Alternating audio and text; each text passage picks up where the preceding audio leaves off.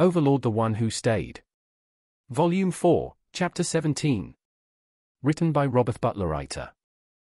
I hope my lord doesn't mind, but I've taken you by a somewhat longer route. We're close to the chasm now. There's a secret route that leads toward the Dwarf Kingdom's capital and lets us avoid the usual paths that the dwarfs guard.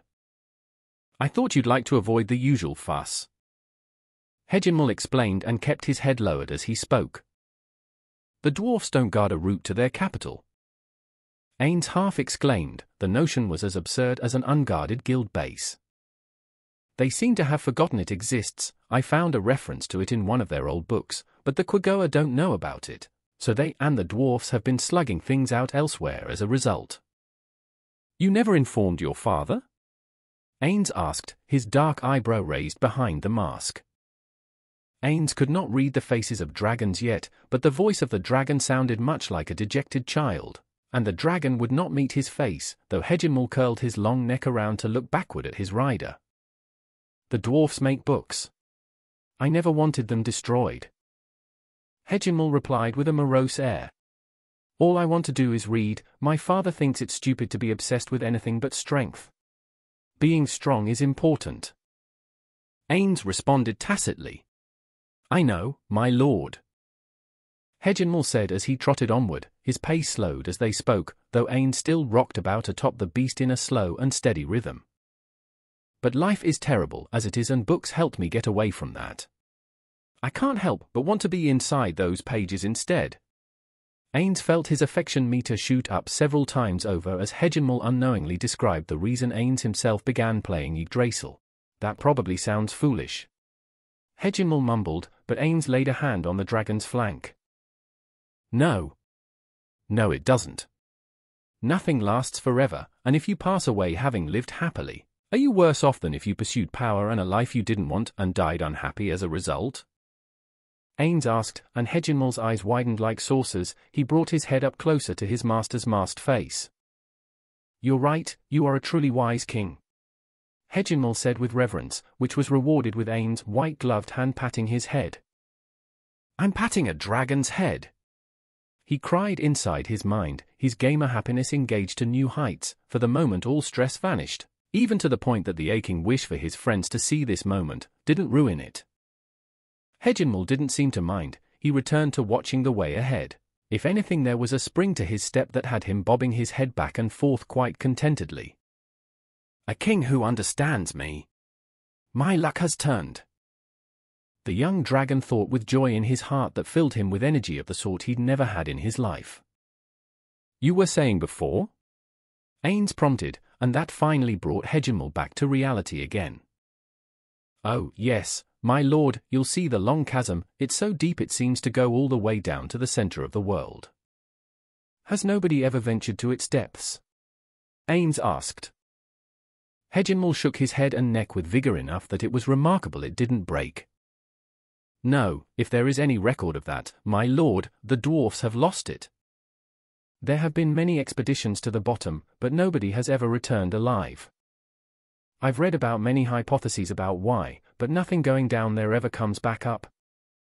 It was just then that the chasm came into view, a great wide crag, like glass that had something dropped on it. The jagged crag was a bowshot's distance across, and if the interior seemed dark before, then the chasm made the Understone realm appear to be high noon on a clear day in Re-Estize by comparison. Darker than pitch, the inky depths were like an ocean painted black, his explorer spirit grabbed hold of Ainz and would not let go. Stop! Ainz whispered. Hejinmal obeyed and Ainz looked back at the hidden route. In retrospect it was little more than a broken-down cave hidden by rocks that jutted out at just the right angles to hide it on either side, and far away from any area anyone had any reason to travel. But the interesting thing was the chasm itself. He approached the abyss, his shoes slapping lightly on the stone, but there was nothing to stop the small echo other than the interior walls.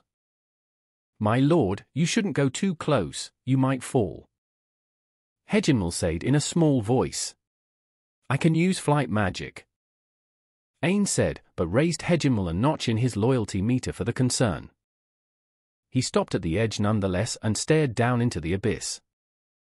The great crag held Ain's full focus, he took out a lamp from his dimensional storage, a worthless trash item from his beginning days, lit the candle within, and tossed it down the supermassive hole. He watched, the light pulsed back and forth, in and out from the central wick, the fire bouncing off the nearest wall, and shrinking more and more into the depths. He listened with care, even holding his hand beside his ear and leaning over the edge with his head tilted to one side.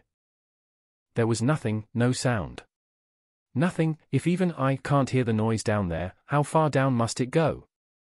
Ainz knew enough about geology from one of his guildmates to know that this was a truly ancient place even by geological standards. This may very well be as old as the mountain itself, and if things form at the same pace here as in my world, then this chasm may be millions of years old. His breathing picked up a pace at the sheer or inspiring moment of looking into the deepest depths to the invisible heart at the bottom of the world. One of the books I read said that it is bad luck to look into the abyss, they say if you look long enough, the abyss looks back at you. Hejinmal approached with several hesitant steps. If it does, I will make it blink first. My friends and I know what it is to walk an abyss, beautiful, majestic, deadly, and make it known, make it ours. Ain said, and straightened up. I want to go down there, and do it again. My lord. Hejinmal shivered and shook his head, that would be too dangerous to do without an escort that can help you, and I'm useless for that. He eked out in a very undragonlike way, and to that Ainz had to laugh. How old is he, to speak of something like that, how truly strong? Hejinmal asked himself, but could not bring himself to vocalize it. What lies beyond the mask?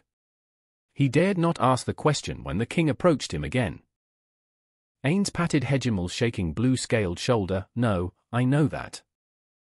But what an adventure it will be one day.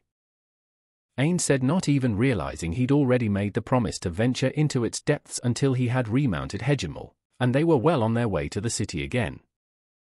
When he did realize what he'd said, his conviction crystallized.